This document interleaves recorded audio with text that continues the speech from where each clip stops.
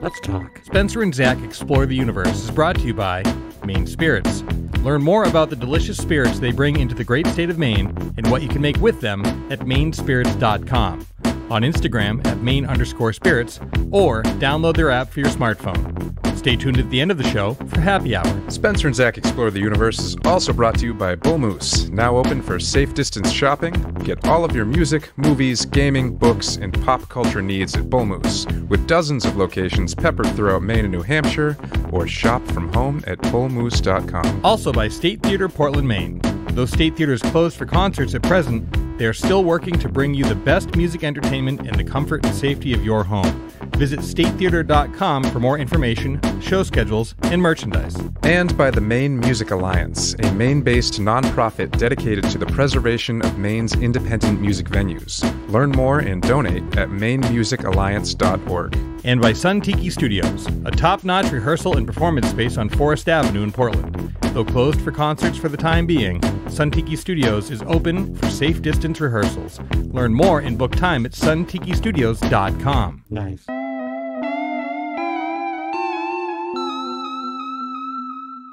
Here we are on the well, this is Monday. If you're listening to it when it came out, when this came out, it's Monday. It's the Monday after John Lennon's 80th birthday, which also saw the release of "Give Me, Give Me Give me. Some Truth." Gimme some truth. Give me. which is a new collection of uh, remixed John Lennon songs. And uh, I got the uh, the vinyl version from Bull Moose, which is uh, eighteen. Or I'm sorry, nineteen songs. And then I Uh. went on Spotify, and they, they have other versions as well that uh, cost more money than than I'm making. Uh, you know, flipping flapjacks here on the internet. So. Uh, but uh, yeah, this 19 song version is what I have, and then there's a, another box set that's larger. And then I went on Spotify and realized that, uh, man, they remixed a lot of these tunes. That deluxe version on Spotify is huge. Uh, I ended up getting the 4 LP set. Oh damn! Uh, be- because I'm currently living with mom and dad. You- what's your and, uh, side yeah, hustle, that- man? uh, just flipping flapjacks So you're on the internet.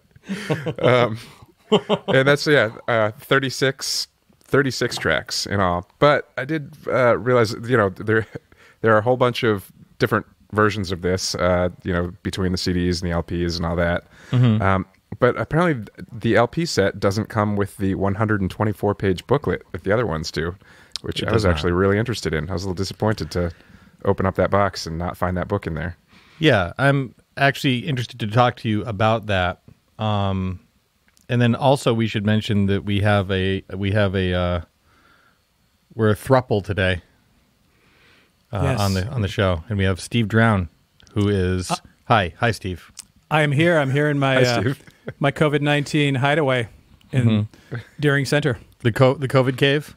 Yes, exactly. So Um, well, hopefully it's not a cave full of COVID. Are there any bats in there? no, no, no. I think I think I'm safe. I had the windows open yesterday because Mm-hmm. it was you know 75 degrees, but I closed them and sucked all the COVID out overnight. So, Yeah, good, good. You got the you got Good the uh, uh, coronavirus. the Renai COVID sucker, yep. COVID Yep. remover. Uh, Um, so I think it's. Oh, maybe you were already going to do what I was just about to do. Uh, Go the, the Steve intro. That's right. You go for it. Go for it. Yeah. Oh, all right. Uh, so for our uh, our ever growing fan base, I think we've moved up from five to six fans now. Wow. Um, so yeah, uh, I'm one of 'em. Steve, you are a. Uh, I'm going to inform you as well as the listeners. Steve is a uh, a recording engineer, mix engineer, um, among others. He's worked with Spencer Albee and Zach Jones. wow. but, uh, wow. What a roster. Wow, yeah, b- big big moves. uh, but also, you did a lot of work with Eugene McDaniels, which correct me if I'm wrong, but that also led to you recording with Ron Carter and Yep. people of, of of that ilk. Um, you also worked for Bose, correct? As a contractor, yes, for six years, Mm-hmm. doing all their original demonstration material. Right on, and that was like recording or- and mixing orchestras. It was all sorts of everything. Uh, w- wild re- recording lions and leopards and tigers Oh, my. and orchestras, Celtic music, a Welsh choir, um, which has a long story to go with it, um, birds in a aviary. Wow. Uh, it's kind of recording downtown Worcester. Ooh. Ooh. Um, additionally, you've recorded. Uh, you've worked with Charlie Musselwhite. Do I have that right? Uh, yeah, for a, a good stretch of time, I was the engineer um, on a bunch of Telarc, you know, the audiophile label Telarc's Blues division. Did probably half of their releases. So worked with Charlie Musselwhite a number of times, a, a number of times. James Cotton a number of times. Hubert Sumlin, Pinetop Perkins, uh, a ton of people through that. It was pretty, f- lots of fun working with these people I used to read about, and then you get to hang out with them. Um, did you uh, correct me if I'm wrong, but did you do some recording with Alison Krauss and Robert Plant? Uh, No, I I did not. I, I, I hung out with Robert Plant and I met Alison, which was very exciting, right when they were doing the record. But so yeah, I met Robert Plant before that record came out, and I wish I worked on it. Wow. Okay. Yeah. For some reason, I thought Because maybe you were involved I would I would finally Oh. have had a Grammy in instead of nominations. so, but well, you know, At least uh, you're that's something. nominated. I've never been nominated ah, for a Grammy. Well, Nor have I. Um, I have a, a short anecdote uh, about Steve. Well, Steve, you know, and Zach and I have worked together. We'll just say countless hundreds of hours. Count. Yes. I mean, just. yeah. I mean, probably if you crammed all the time that we've spent together in a studio into one hunk of time, it would be substantial. Months, if not a year. Uh, but uh, I got a call from Steve one day that was basically like, you should come down here to the studio. He was the chief engineer of at the time, called cleverly the studio. Right. And um, it was the 90s. Uh, and uh, on that session that day were the following uh, G.E. Smith and from the Saturday Night Live band and And also uh, the Hall & Oates band. and the Hall & Oates band. Speaking of that, T Bone Wolk uh, on bass, and then uh, most dazzling to me at the time, uh, Steve Holley, who was the drummer in the last uh, incarnation of Wings, and I don't know. There's an argument to be made that he was Wings' best drummer, but they had so many good drummers; they're all great. But Steve Holley was excellent. And yeah, so I came down and coiled cables and made coffee and was just a, an assistant that day. And then next thing you know, the next day I was uh, recording with Steve Holley, which was the coolest. So Yeah, I yeah, agree. yeah, that was a fun moment. Like I felt like, wow, like I'm, I don't know. I was I was in my early twenties at that time, right? Like Uh, you'll have to uh, probably. how old would was say, I? I'm a baby. Uh, yeah. You tell me. Tell me It was how old I was. It was probably the year the in the year 2000 maybe the year or tw- 19 Wow. 2001 maybe at the not right around there. Yeah, right around there. 2001. Yeah. 2001. You guys were floating around in a space station recording that? That's right. with our yeah with our suits and everything. Yep, and we lost uh, we lost Steve because of a computer malfunction. He was set adrift. Yep. Hell, damn you. yeah, he died, and that was Um, really sad. and Steve, you are currently teaching recording, or pre-COVID anyway, teaching I- recording, right? Uh, at, I, I, I will give my title. I, I'm the coordinator of the Bob Crewe program in art and music at the Maine College of Art, and I've been there since its inception. That's a long name. it's a long It's- it's- title. I, I took a nap in the middle Yeah. of that thing. and I didn't even say my name in it and my middle name and my title and my, you know, my royal appellations too. You know, Yeah, Sir Lord of Sir the Earl, of, of, of the the Earl Sir Lord Duke. Yes. of the Dukeries. Um, uh, anyway, so I've been there since since its inception and helped develop that program, and happily there. And I help art students make sound and music. That's about, it's it's kind of where I need to be. it's a good gig. um, and the name the name Bob Crewe is important because he's the dude who uh, wrote most of the tunes for Frankie Valli and the Four Seasons, and He produced and those produced records. them. He, he was he was a co- co-writer. He was a lyricist and co-writer for almost all of Frankie Valli and the Four Seasons and Frankie Valli solo stuff like "Can't Take My Eyes Off You," "My Eyes Adored You." Um, he co-wrote "Lady Marmalade," "Marmalade," whichever one. Um, he did a bunch of stuff in the '50s, the late '50s, which is kind of before my time, but uh, like the song "Silhouettes" he wrote. Um, Mitch Ryder and the Detroit Wheels um, mm-hmm. produced all their stuff, and just had a like a like a twenty year or so writing producing career, which is kind of hard to fathom, given that music went from doo wop to disco and mm-hmm. everything in between, mm-hmm. and he survived and he had hits, hit after hit. Just so hearing that list of songs that you just rattled off, it's like a, a karaoke dream. This guy, Yeah. this guy was a living true. karaoke generator. I Yeah. don't mean that as an insult either, but those are all, those are all class. I mean, I think that I've, uh, I've sung those on stage. Quote on a karaoke stage. Um, I also work with uh, you over at the Bob Crewe Foundation for uh, Artful m- Music uh, Learnitude for young You- young people. You have, Yeah. in, many, in several capacities as Who wants to record uh, good? a, a pre-college program instructor, and as our uh, ensemble course instructor as well. Basically, leading a band of students. Yes, which was very difficult to do uh, as we shifted uh, to remote learning at the end of last Yes. semester. A remote band isn't too cool. No, it's it, it lacks it lacks a little uh, everything that makes playing in a band Yeah, fun. yeah, yeah, yeah. Yeah. But uh, one thing that brings us all together, as always, is a love of the Beatles. Exactly. Um, and I would say that of the countless hours that we've spent in a studio together, we've spent perhaps most of them uh, talking about the Beatles.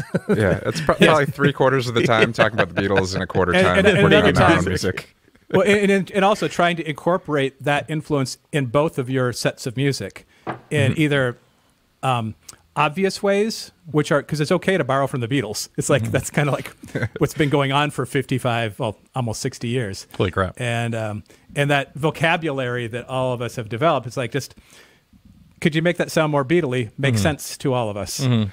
Whether it's a vocal part or a piano part or an acoustic guitar part or electric guitar or anything, it's like beetle beetle it up a little bit, please. yes.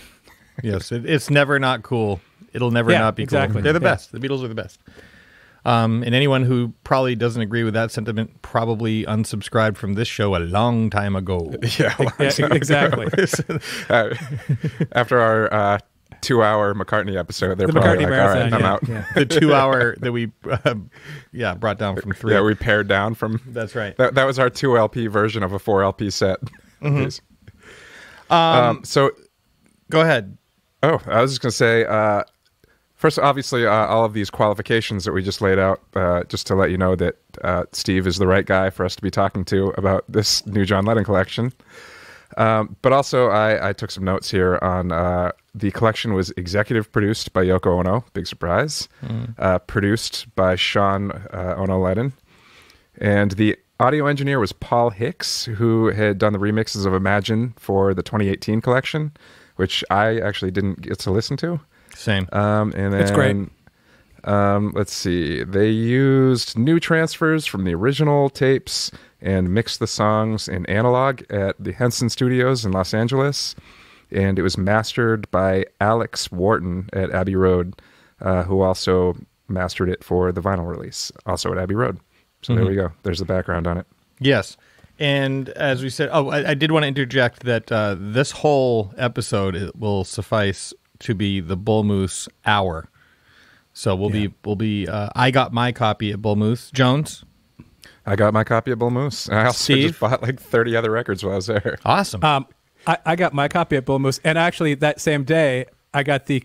This is another episode, a copy of the Andrew Gold box set that just came out, Andrew Gold of the Golden Girls theme song fame. and Lonely Boy, yeah, Oh, wow. unheralded hero that we'll talk about later. so that's a box set of I two look forward to songs. Yes, yeah, yeah, exactly. It's the 45 version, the album version, alternating about and then the dance 400 remix, times. the 12 inch Yeah. version. Yeah. um, yeah. So as as Steve, what uh, version of this did you pick up? So I'm Mr. Digital because Ah. you guys are Mr. Vinyl. I, I've since I'm a little bit older Mm-hmm. to some degree.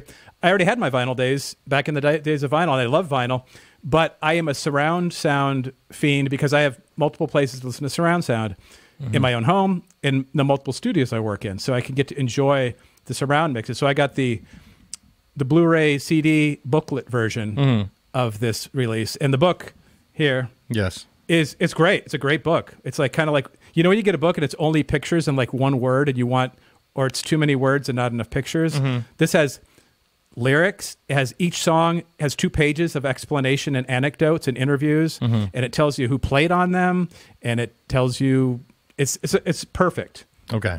Well, that's why one thing I wanted to bring up, and this will be the only uh, negative thing that I will uh, say about this set, is that I have the two disc set. Um, I, I guess now I kind of wish I'd sprung for the big one, but um, the the presentation, like the booklet, is like kind of I don't know, not I want more. Yep. And uh, and I obviously like a 150 page booklet is going to give you more information, but I could definitely have used with a little bit more of the uh, the the nerd information uh, in this book. But other and, and the the layout's like a little, it's fine. Um, it's fine. I do like that they start off on, on my version. There's a copy of the uh, um, the letter that John Lennon wrote to the Queen, to Her Majesty the Queen.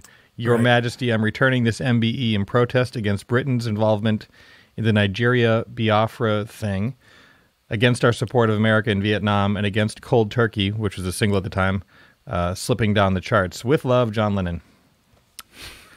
which is pretty uh, pretty cheeky thing to send to That- the Queen.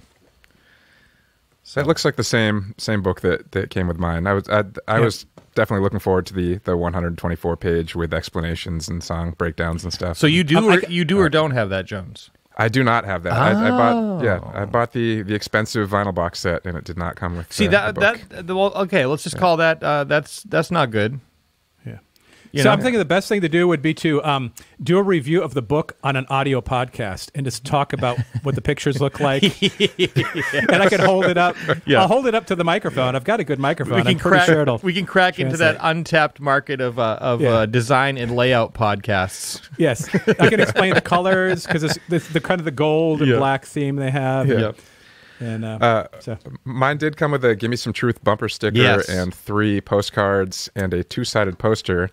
That yes, I, would got love that to, too. So yeah. I would love to hang up the poster, but uh, I'm like also uh, you know my personality is like oh this came in the record set, so now it has to stay with the record set. Yeah, Uh, yes, I share that as well.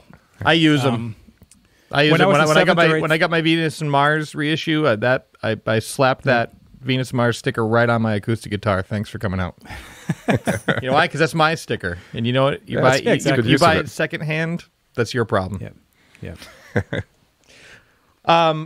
So I mean, yeah, the, I mean the package looks good. It's a really cool photo of of John that I had not seen before. Um, Yep. it's really cool. It's, it's uh, sparse layout, but like what we're here to talk about, uh, another. Uh, inst- instead of talking about the way things look, let's talk about the way they sound because that'll that'll really help help people. Um, yeah. So I only have I li- Instant Karma hit uh, Spotify. I want to say about um, a month ago. Yeah, a month or so. Yeah. And and that was followed up by another uh, Mind Games Yep. came out, which is one of my personal favorites of his. Um, but man, Instant Karma sounded fantastic. Now, I don't know about you two, but and, and Jones and I have touched on this in earlier episodes, but the uh, I am not personally a fan of the the Beatles, uh, Sgt. Pepper, Abbey Road, and White Album remixes. I find them to be it's interesting, it's cool to hear certain uh, elements kind of like brought more to the forefront or opened up a little bit, but I find them to generally fatigue my ears. They just they just they hurt afterwards. They they lack uh, warmth. I don't know if it's too much information in the high end. I don't know what it is about it, but it just like I don't. When I think about it, I do not think uh, of pleasurable listening. Um, and it made me want to go back and then uh, like put on the 2009 remasters, which are for me like the holy grail of of the way things should sound if you want them to sound good. And those just sound better to me. And maybe because I'm used to it, but they don't fatigue my ears. I just think it sounds like a, a better version of what I uh, grew up with.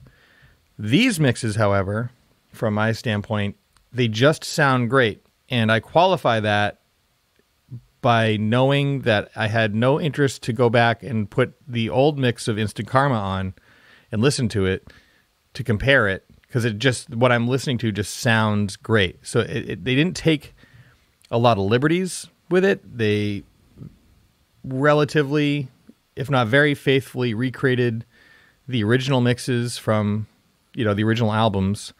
Uh, but there is a little bit more separation.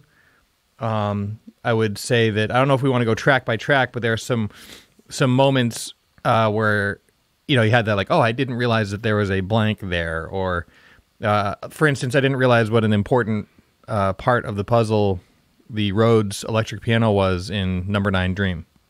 Yep. I had not uh, heard that before, but also very full sounding. I think Steve, it was you that you said that sounded really rich. Yeah, I can't. I, I don't know what term I use. I- I'm used to it. Luxurious. Luxurious. It's like a it's like a pillow. And I I jumped into these mixes in the surround ones immediately because I brought them back into one of the studios I work in and just listened to the surround mixes immediately because I can't do that as readily elsewhere. And it was like, ooh, low end. Mm-hmm. Um, As an engineer and mixing engineer, I like low end, and I I thank Chad Blake in the '90s for reintroducing us to low end. Yes, thank you, Chad You know, who's a fam- a famous mixing engineer who uh, did way too much awesome stuff to even. He still does great, great, great, great stuff. And people forgot in the CD age that low end existed because they're so enamored of the crystalline high end that was hard to do on a record. Um, because you know vinyl records are pretty limited in their sound re- reproduction um, abilities. That's why what you're hearing is not what's really on the record. You have to apply a, a EQ curve to it when you're recording and when you're playing back. But people forgot low end existed, and even in this, like this is to give this some context. You know, from 1969 to 1980, when all this stuff was recorded, with a big hole from 1975 to 1980, because John was on uh, hiatus from music, that when they were mixing some of these, they were for 45s or they were for vinyl records and there were limitations. So you wouldn't mix technically in a certain way because it would be harder to master and the mastering engineer would have to get rid of some of your work. So the reason the old ones don't they don't sound bad. They were in a they're from a different time and were mixed for a different purpose mm-hmm. and a different audience. Mm-hmm. And so now when I put on these new ones, it's like, oh my god, it's it's like a Klaus Voormann record because Klaus Voormann, the bass player, who's mm-hmm. friend of the Beatles from the Hamburg days. Um, You did the cover for Revolver.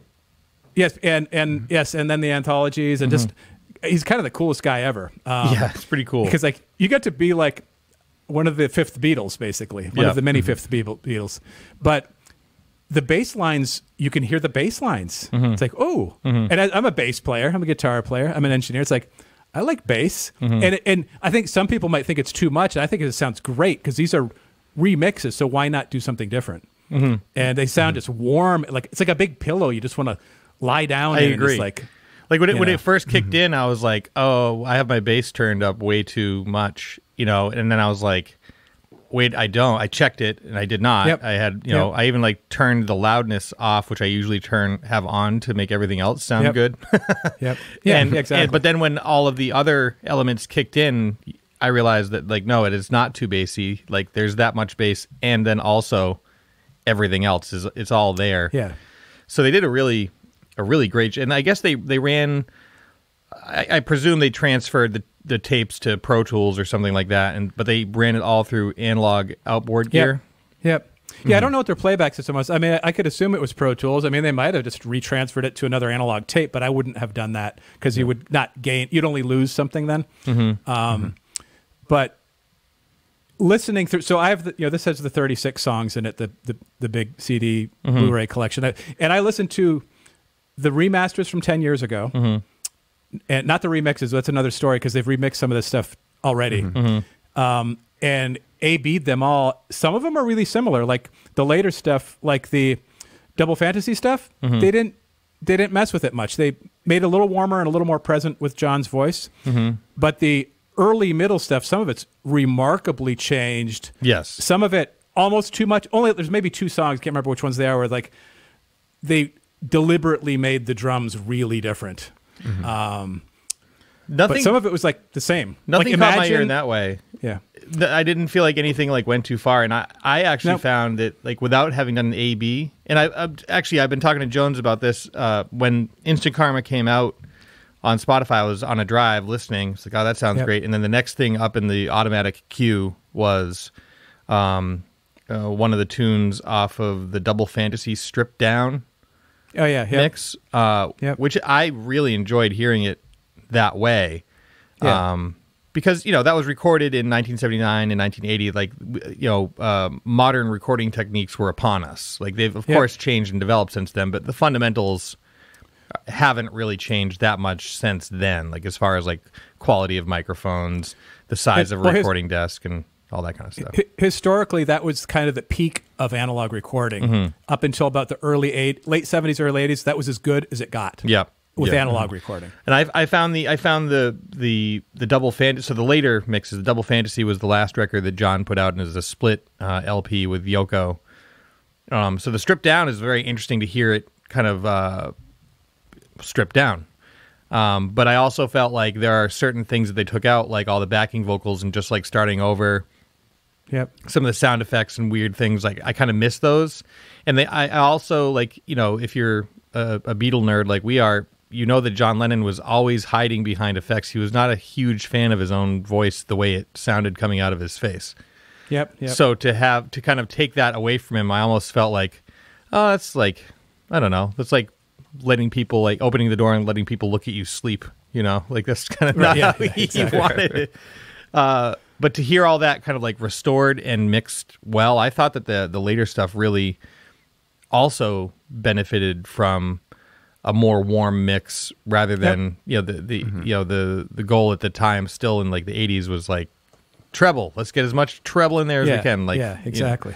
Um but i felt that they're i mean they sound like they're recorded right now. It's just it just sounds Yeah. awesome but then also So- the uh, the I- I'll, I'll I'll get out of your way here in just a second, Jones. The the older stuff, which was like Instant Karma, is like a very good example of a song that was recorded very quickly, early. You know, it was kind of like a rush job.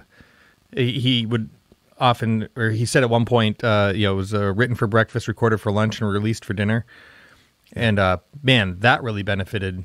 Also, everything on this set that I've heard benefited from the remix. I think. And Jones, I'm sorry to have interrupted you. Uh, so I, I I actually have a handful of nitpicks.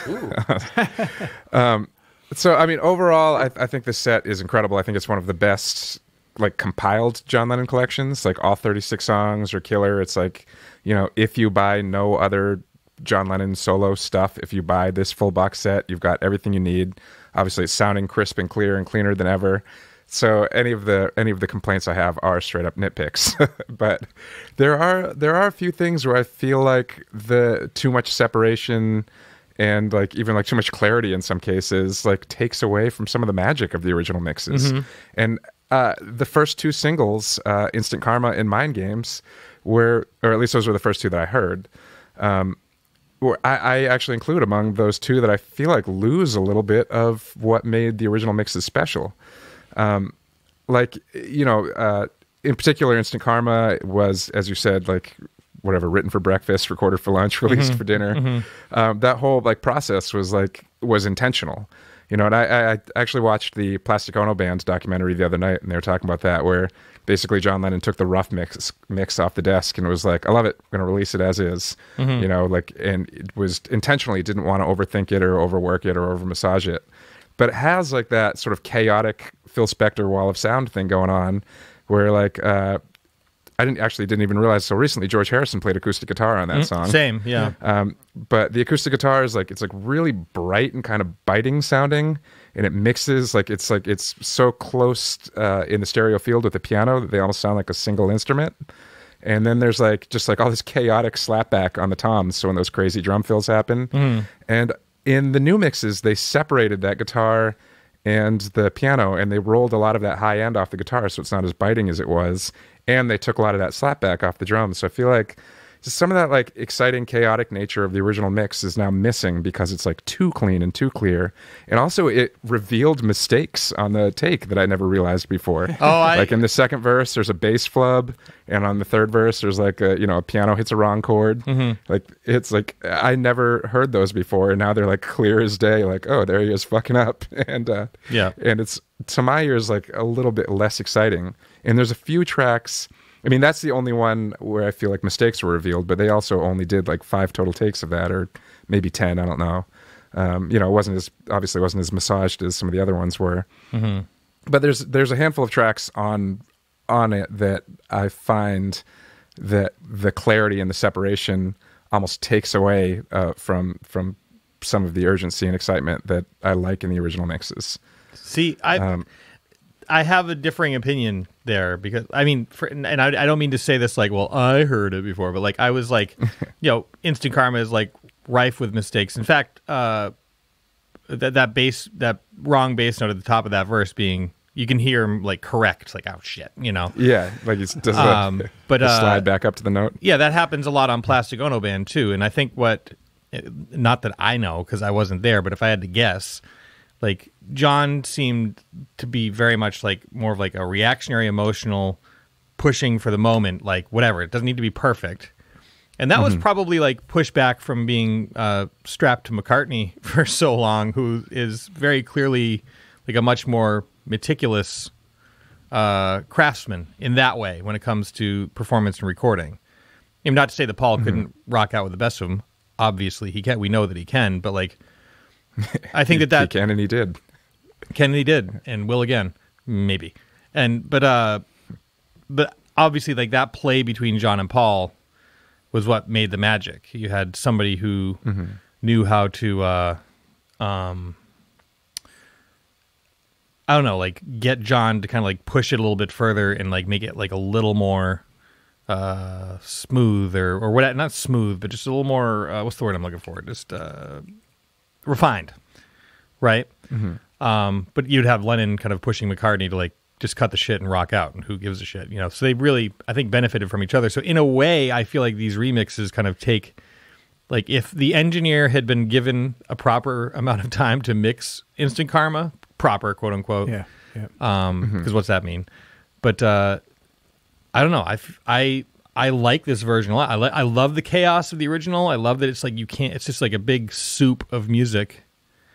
But i also like hearing it uh separated as well. Yeah. so. I mean, George Harrison did the same thing when he revisited the mixes on All Things Must Pass in whatever year it was, 2001 or 2, I can't remember. Uh, but Yeah. they did the same thing where they basically stripped off a lot of the the wall of sound stuff, like the excessive reverb and slapbacks and and I kind of had the same thought back then even though I knew less about music. It was just like something about this is less exciting to me. I mean, it's, mm-hmm. it's still brilliant music that I love um, and and and this doesn't hold true across the board for me on this collection. There's just a handful of of moments where where I found it to be. Um, I guess like okay, so I, I I saw a thing with Brian Wilson talking about producing pet sounds, mm-hmm. and he was talking about how like you know if you have a guitar playing a line, that's a guitar playing a line.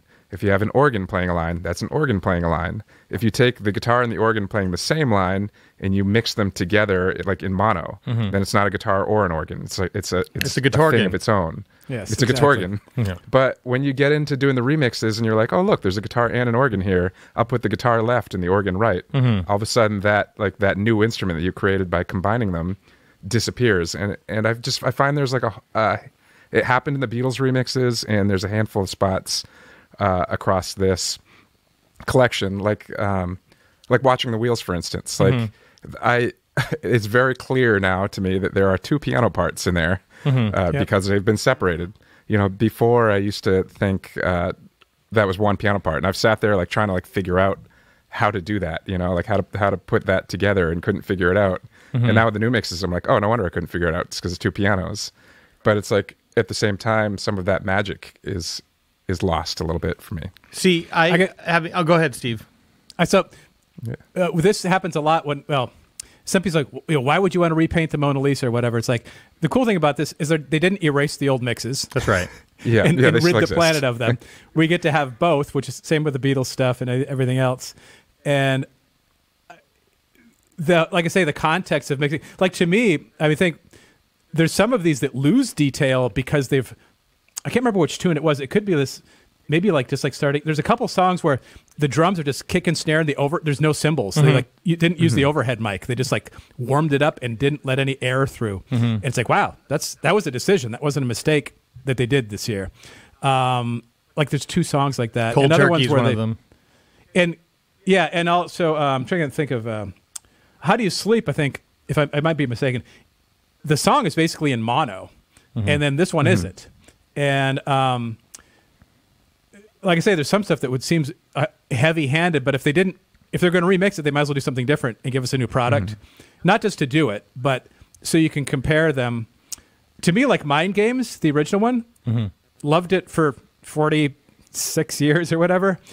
When I look, compare it now, it sounds like it's already on the radio, and then the new one has all this extra low end. It's like, oh, that's I like that too. Yeah. it's like Yeah. gravy. It's gravy. It is gravy. Mind Games is kind of like my sleeper favorite John Lennon record. I mean, I love Imagine, and I love Plastic Ono Band, and uh, I have. I'm not as well versed in Walls and Bridges, though I've listened to it uh, many times. But I just haven't fallen in love with that record yet.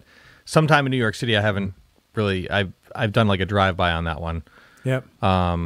But uh, Mind Games, I love that album. I, I love the spirit of that album. I feel like he's like at peak John Lennon powers, you know, and uh, and I love hearing those tunes, like specifically the title track, kind of separated and pulled apart and mixed. I don't know. I love it. I, I love that album. I love hearing because uh, the bass player, the, Klaus Voormann, does not play bass on Mind Games. It's a Gordon somebody or somebody Gordon.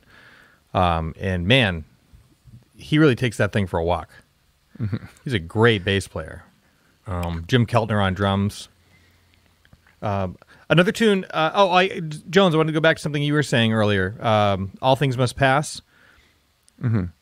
Credited uh, Phil Spector as the producer, right? Is credited credited as the producer on that album. Uh, he actually didn't even like really show up. And Apparently, that's the Yeah. same thing for Plastic Ono bands. yeah. Yeah. And uh, George Harrison was pissed because he wanted the wall of sound, and, and, and Phil Spector is entering into this new minimalist phase of his, you know, be, uh, the minimalist phase before he uh, went into his murderous phase. ah, yes, yes. Yeah. that one. yeah, that one. Uh, I think he had a threatening murder phase before he went to like, yeah, yeah. actual murder. Yeah, you don't- phase. you don't just, like, kick right you over know, to it's, murder. it's a gradual Yeah. growth. It Yeah. lasted decades. It's very gradient, stage. very gradient. Um, but yeah, so apparently uh, George Harrison was responsible for the wall of sound on All Things Must Pass, and then maybe I don't know, maybe he was like in his fifties one day and just being like, you know what, maybe um, maybe I overdid it there or something. I love the old mixes. I love the, the the newer mixes. It's fun to hear. It's fun to hear it be different. And one thing I, I, I think that maybe we can all agree on is that none of these mixes sound bad.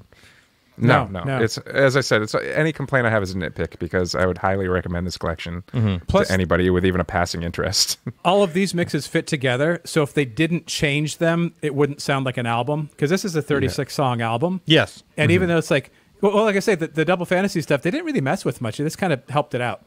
But it's, and it's mm-hmm. like because it was recorded in 1979 and 80, so it was kind of like modern.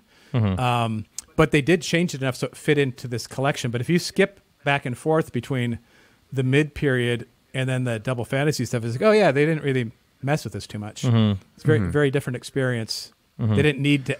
I, I, you know, I'd like to know who what the decision making process was between uh, you know, Yoko and Sean and Paul Hicks and whoever else was poking their fingers in this, like, oh, let's, yeah, if it's not broken, don't really fix it much. Yeah, I like that they put Sean in charge of it because he's uh Yeah. he's he- well he's a cool dude in his own right. Um, yeah. If you guys haven't checked it out yet, uh, there is a series of interviews that Sean Lennon did uh, that you can find on YouTube. I don't know what he did them for originally, but um, he basically he talks to Elton John, and then he talks to Julian Lennon, and then he talks to Paul McCartney. Oh, wow. Uh, Huh. all just Huh. basically being like, "Who was my dad?" you know, Wow. like, Yep, yep. what was that like? And uh, it's uh, in particular the Elton interview and the McCartney interview are two of the best interviews I've heard with those guys because they're like talking to basically like a friend and family member rather than like a member of the Right, press. right. And Yep, like I yep. heard Paul McCartney tell stories to Sean Lennon that I've never heard him say before. Oh, wow. And so many of like the things that he says are like almost cliche now because he said them so many times. That's right. Um, I was a little underwhelmed with the Julian Lennon interview, only because not because of Julian, but just because I feel like Sean definitely showed like a, a respect to to McCartney and Elton as like you know elder statesmen musicians, whereas he talked to Julian as if they were you know well they are like I guess kind of like just on the same level. He didn't have the same sort of uh, Yeah, they're brothers. I guess. So he, yeah. But I felt like he he kind of dominates that conversation a little bit more than I would have liked, rather than just letting Julian speak Mm-hmm. the way that he let Elton and, and Paul speak. But it's still, yeah, it's like an hour and a half, but totally worth listening to. I found it last night, and it, it was great. I'll ch- definitely check that out. Uh, I was hoping actually. Well, first I want to reiterate that I have the the two disc, uh, nineteen song vinyl that I got at Bull Moose. Zach, you got the thirty six song four LP version. Also Bull Moose and Steve, you got the how many CD? Uh, two CDs and one Blu-ray. And and then that came with the five thousand page booklet, full color. Yes. Yep. Yep. Is the booklet bound or is it just a bunch of loose pages like most it is. books? Ba- it's it's a book. oh wow, so it's bound. Okay, cool. It's a real. It's like a. It's like a. Um. It's like a ten. Uh, well, maybe nine, nine or ten inch coffee table book. Yeah. It's for a small coffee, for like a teacup Yeah. book. Uh, mo- most books that I buy are not bound. They're just kind of just like loose leaves, just stacked, um, which is fine until it gets windy or you turn a fan on in the summer. Um, Yes. And then you have to put the books back together. So I'm glad to hear this one's bound. It's the future of books. But I was hoping to. I was hoping to point. I had a couple of uh, uh, takeaways from from this uh, listen, and I was hoping uh, to talk to. Uh, hold on one second. I'm getting a noise. Stop it with the noise. It's the phone noise, guys. You know what I'm talking about. oh yeah, This is terrible. Ah, whatever. You probably can't hear it. It's actually on your phone line. Uh, so sorry about that. Uh, I had a couple of takeaways. I mean, aside from like, uh, man, when they remastered it, it sure didn't fix the. They didn't tune up that saxophone on uh, "Power to the People." Holy, Nope. holy crap! uh, and uh, and also the other tune that saxophone is on, uh, "Whatever Gets You Through the Night." I don't know who John Lennon was. Uh, the those I, I don't personally again this is nitpicking but like i don't think that dude has the best relationship with woodwinds uh, I think that that was uh, uh, Bobby Keys, who also played with the Rolling Stones. yeah okay and uh, apparently he got along with Keith Richards really well because they had the same substance addictions. ah shocker it sounds like it it sounds like it Yeah. Um, he was also the on the Mad Dogs and Englishmen uh, tour. It's Yeah. like- he was he was kind of like I think he it, people like to party with him, so they hired him to play sax on all the it records. sounds that's exactly what it sounds like it sounds like he's angry at the saxophone and he's trying to uh, push it into another song or something i don't know um, but i've also i also just have an aversion to like that yakety sax sound like it's just not my it's not my vibe It took me years to separate that from Saturday Night Live. Um, every, yes. every time I hear that, it's, H- it's Saturday Night hence- Live. Spencer, hence your dislike for listening to what the man said, Okay, well, okay, which I, Let- which I love. Let me pull this apart. that's another. Uh, that's a, that's another uh, subject. there's two. There's two things I don't like about listen to what the man said. The sax solo, which is on a soprano sax, which is my least favorite Yes. version of one of my least favorite instruments. Now that said, if you if there there are great sax players out there, and I've had the pleasure Yeah. of playing with uh, some of them, and when it's played right, it's amazing and awesome. Uh, when it's played wrong, it is uh, soul crushing. um, like more so than most other instruments. Uh, like violin, probably, and saxophone played poorly is. Uh, I don't even want to be anywhere near that. So that's just my own opinion. But, but yeah, uh, listen to what the man said. It's a soprano sax, and then also the way he says "man." Man, listen to what the man, man. I don't like. he's he's from he's from England. He talks. Yeah, French. well, I don't like it. Uh, so, so a couple of uh, uh, so again, no shade to saxophone players out there, No, no. established or otherwise. Keep following your dream, and for the Yep. love of Christ, don't play out of tune. Uh, That kind of goes to all musicians. but my my my uh, no, just sax players. Everyone else can play out of tune. But uh, number nine, Dream for me was probably my favorite. Uh, well, I don't know. Just like starting over was great too. But number nine, Dream, I was just like, it's a song I've listened to thousands of times, hundreds at, least. Um, and I love that song.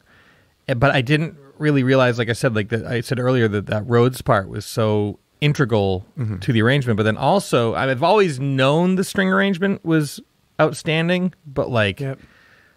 It is I, I, I didn't look up who did that string arrangement on that tune, but it is incredible. Not sure. It, it is so uh, cinematic. Like they really, it does feel like a dream. The whole tune feels like a dream.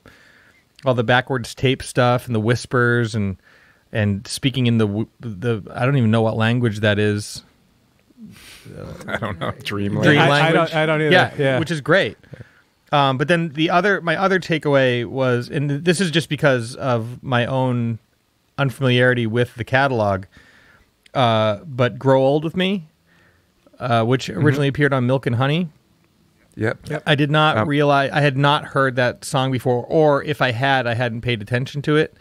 And so the version on here has a, a string arrangement by uh, George Martin, uh, which is Mm-hmm. That was done for the John Lennon anthology. That's right. Which came out. that's right. I can't remember when. And but I have it somewhere. It is what a tearjerker, and I was already like listening to it, like, man, this is so great. And I read a a a, a piece that said that Yoko said that they, had they realized this song to its fullest potential, that it was their intention to have it be the song that played in churches every time people got married. Like they wanted it to be a standard, and I really think it, it it could have been. It's incredible, but what I was already feeling the feels at this point because I already made my way through like the whole. You know, it's, it's effectively chronological until you get on my version here until you get to the last two songs. It finishes up with uh, uh, "Happy Christmas" and then "Give Peace a Chance." But uh, "Grow Old with Me" was like, oh man, this song is so. I don't know. It's it's funny to hear John sing, not sing earnestly, which he does, but just like it's almost like he was kind of venturing into like the like the McCartney like sentimental territory in a way, or or or what you know we've kind of grown to uh, expect of McCartney, right? But it's it's such a great song. But then also, uh, what I learned, and what I wanted to share with you, and maybe you also know this, but if if you're listening and you don't know this, when they were doing uh, the anthology, and as you know, there are two new Beatles song, quote, new Beatles songs on the anthology, uh, "Free as a Bird" and "Real Love." Um, and then there was another tune that they worked on but abandoned because the tapes were too uh, degraded. Um, but "Grow And Old," George Harrison didn't like it. yeah, yeah, I think that might have been it. Which is great that you can still be like, you know, even though it's like you're still in the Beatles, and you can still say, "I don't like that song." Throw it out. Uh, but "Grow Old with Me" was, was one of the tunes, and this is what got me right in the fields department, fellas. Yoko presented the tape, these tapes of John singing these demos, to Paul, and on the tapes, written in John's hand writing, was for Paul. Oh wow, wow, Wow. Can you imagine? Like, I bet, like that must have been like Huh. so emotional. Like to think that, like, Yeah, yeah. like what, like had he thought? Did she arrange to have his handwriting put on there, or did John, even late in his life, like be like, I want Paul to hear these songs? Like, are mm-hmm. you know what I mean? It's just Yep. I don't know. That must have been a, a like a remarkably touching moment, um, because that that is that's the I think that they did a really good job. Again, like kind of coming through chronologically, but then also ending it on a really like beautiful, like sentimental note. Like the very last thing you hear from John, almost on this record, is uh, uh, him like kind of like I was singing from beyond the grave. You know, it was released posthumously, and uh, it's just like this tender, really beautiful song. And then he says, uh, then he says "Merry Christmas" to you, which is very nice. And then, and then, then he's like saying like, "Hey, give peace a chance," which is uh, I don't think people have tried that still, even though he's been that he put he he put that on the table a long time ago. I, I'm so glad that the the, the uh, compilation it's mostly chronological, but Yeah. they put the two older songs at the end, especially give pieces because when you do it when you do John Lennon completely chronologically, the first five songs are so predictable, and they can't. It's kind of tiring to hear the same songs in that order. Yes. Um, and it's like, yeah, throw give Peace a chance at the end because it, so it has some more meaning Mm-hmm. as opposed to way early on. And you don't want to hear a Christmas song on a compilation in the midst of it because it's kind of like it's July, even though this message isn't really just about Christmas; it's about Mm-hmm. Yeah. Mm-hmm. you know ending war. But it it was so thoughtful. It's like we have to have these songs here, but let's not put them in the front. Mm-hmm. Let's put them. Yeah, they put them. At, they put them in a perfect place. They, they like they put him over the credits basically. If this were yeah, a movie, Yeah. I I will also say, at the risk of sounding blasphemous, like uh, "Happy Xmas War is Over" is a song that I personally didn't need to hear again. Um, Yep. And maybe like I'm in an unusual position because of my my annual dedication to learning these songs. uh, like for instance, you were mentioning that you didn't realize that the the two pianos and watching the wheels. Like I very specifically remember that. That was actually like really echoed um, when I heard the stripped uh, version of Double Fantasy. They did they took out the CP70, which is an electric piano. It's a string piano with pickups in it. Um, but that's the one that's like more forward in the mix. So it's Yeah, playing the line. right, right. So there is no like John wasn't playing the line originally in that, assuming that he was the piano player um, on that. Sounds like him. Now Yeah. that I can hear. Now that I can hear the piano part yeah, very clearly. he's a really good piano player. Yeah. Like underrated, I think. Yep. Um. yeah uh i kind of got derailed there sorry i was just thinking there's so much to like think about with this jones did you have any tunes in particular that that really um uh buttered your buns Uh, yeah, well, so uh, you know, obviously, I was complaining earlier about how in in certain cases, uh, too much separation ruins the magic for me a little bit. Mm-hmm. Uh, but obviously, there are plenty of cases where it's completely. Hang on, my phone is not on Do Not Disturb, but it keeps vibrating. I'm sorry, guys. that's all right Uh, now it's on Do Not Disturb. Um, uh, yeah, there's obviously uh, a handful of cases where the separation is is very very welcome. And uh, Steve had mentioned um, "How Do You Sleep" earlier, and that is definitely one of them. Um, having the electric piano panned left and the electric guitar panned right is a. I mean, that's another George Harrison playing guitar on it, and his guitar part is like clear as day now, and it's so excellent to hear like the those two parts, the piano and the, the guitar, playing off each other on either side instead of just both jammed down the middle. And then you know, uh, yeah, as I mentioned, there's like for me, like Mind Games is another one though where like the separation I find kind of hurts it a little bit because the combination of the strings and the slide guitar together produced like this like I don't know, just magical like made me feel like I was floating on a cloud kind of sound. And now with the slide guitar hanging out by itself in the middle, it just sounds like a boring, repetitive slide guitar part. Um, it just it lost a little bit of like that, yeah, that kind of feeling of, of floating, I guess. Um, but I feel like I was going to say something else, and I can now not think of what it is. So uh, oh are you sure you weren't going to uh call another one of john lennon's guitar parts boring Oh no! I know what I was going to say. Is uh, there there was one big creative decision on this uh, that I found really surprising, which was uh, "Steel and Glass" has always been one of my favorite songs, and that's a, a mix that I never thought was broken. Uh, but it was still even on this this one when it came up, I was like, wow, this this string arrangement arrangement is huge, and it's so like, you know, they they spread that out, and yeah, just made it takes over the room when those strings come in. But uh, I realized like halfway through the reason the strings were shining so brightly is because the brass is completely missing. Like there's a uh, uh, yeah, uh, just the the horn part on the original mix is as prominent as the string part, and that is just not on this version or this representation of the song. full disclosure i have not heard uh how do you sleep or uh steel and glass because it's not on my Yeah. my uh budget bin two discer Uh, did uh, did you catch that at all, Steve? That the, Yeah, the it- brass is funny. missing from stealing, I- stealing so brass. I, I'm not a Walls and Bridges. I haven't. I have not lived that album I love that album. because and I, I like it. It's like I I like because actually like Number Nine Dream. It's like because I was a kid when that came out. It was on the radio. It's like, what is this? This mm-hmm. is like, it was like it was like being on a dream. Like I spent. Um, I think all of us did at a certain age from about five like the well the i specifically remember the intro to the age of aquarius mm-hmm. you know the mm-hmm. fifth dimension it's like what that would come on and be like what is going on this is mm-hmm. amazing! this is magic and then also going all the way through like number nine dream i was probably 10 when that came out um, it's like what is this it's like you'd listen to the radio just be like a freaking out like it's like being on a drug trip or something mm-hmm. a drug what are those drug trips yeah um, but but that album I don't know really well. But I remember even when it came out, I was like, "Who's this John Lennon guy?" He's like, he's not as warm and fuzzy like Paul McCartney. So I need to give that about thirty five years to warm up to him. Um, but when I put on the steel and glass surround mix, it blew my ass out. Of, it's like it was, you know, I was like, whoa. And actually, another note. It blew so your. on It the- blew, oh, hold on. It blew your ass out of what now? It's like I, it's like Specifically? it's like Your pants. it blew chair? my ass into place. I don't know. It glued my ass to the seat. I'm not sure. I'm not sure it was my ass or just some other part or of my someone body else's ass. Yeah. or the um, rest of the universe yeah. around your But- ass. So on the Blu-ray, they give you the super high quality stereo mix, and they mm-hmm. give you the I can't remember if it's a DTS HD mix, and then they give you the Sony Atmos mix. Oh, fun.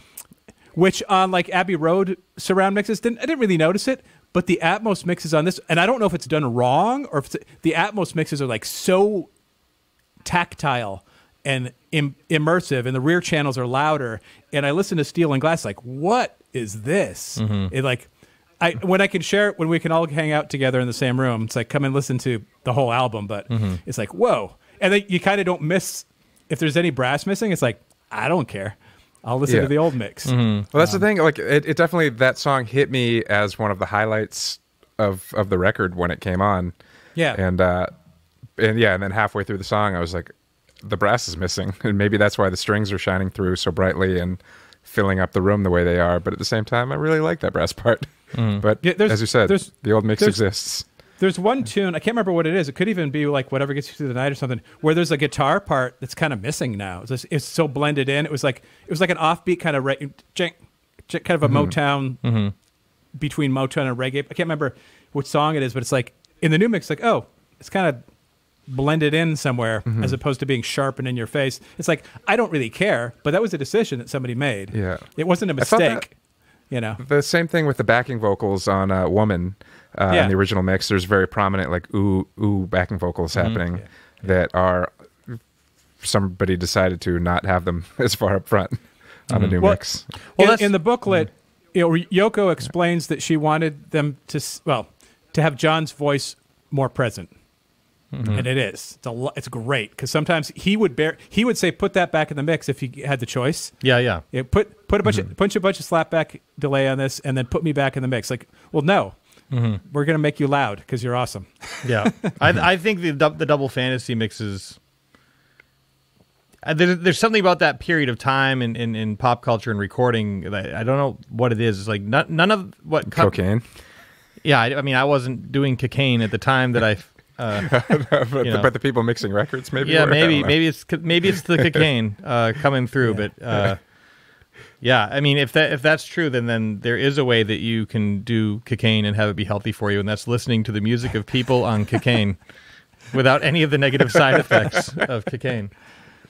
Um, I guess I would like want kind of want to. Uh, I mean, obviously, like, we we could go song to song and talk about everything uh, in in great depth, but um, I would like to kind of stick the landing on this.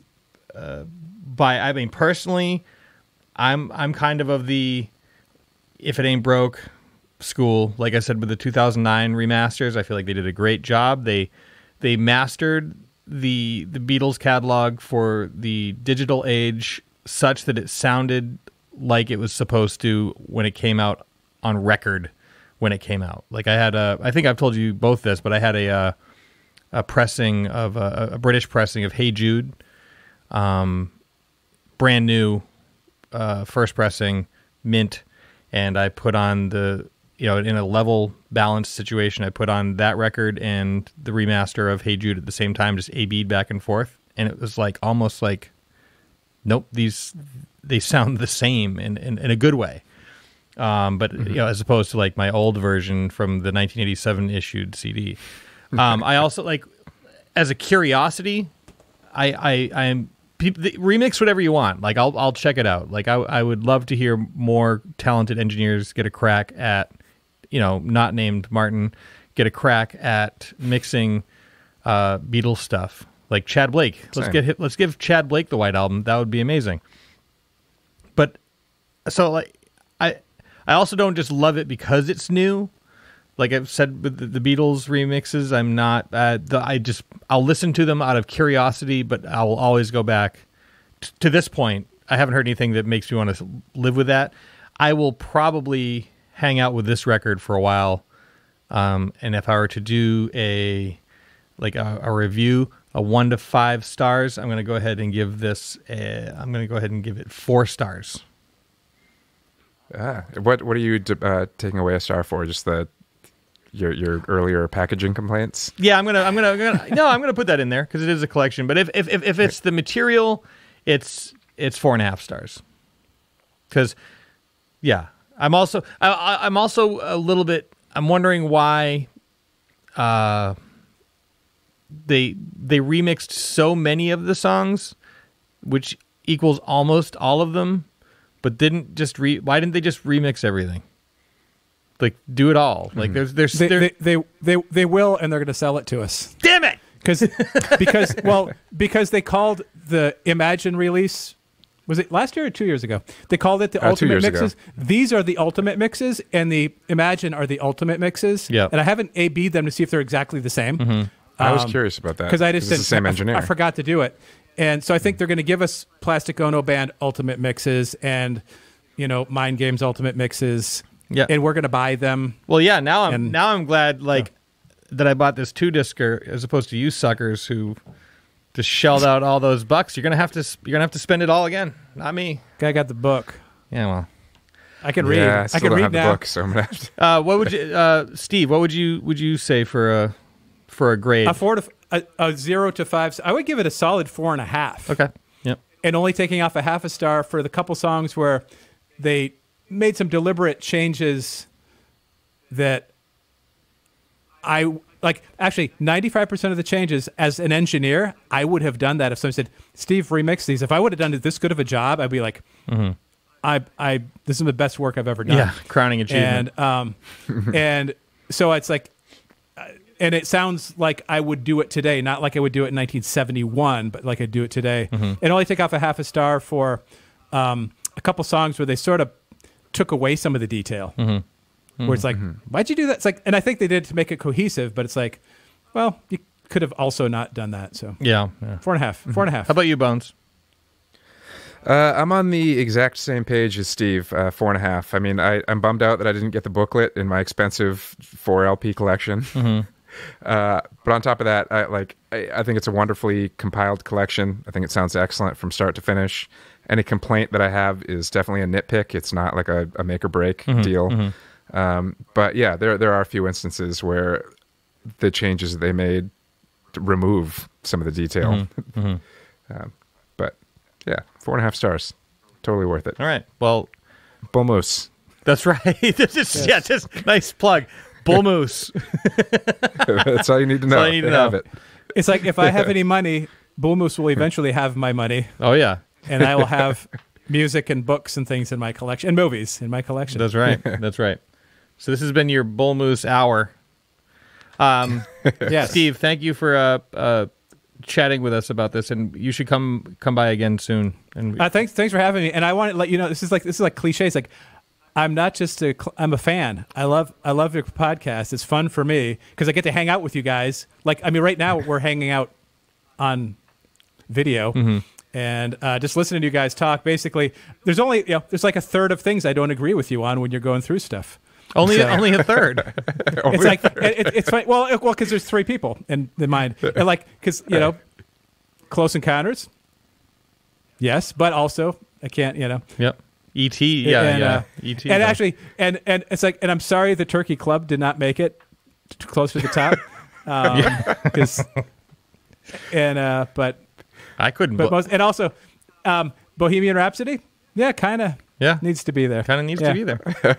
So We should do an episode where people come on and complain about our previous episodes. Yeah. oh, oh, yeah, Yeah. I'd be happy to do that. yes. Let, let's facilitate trolling.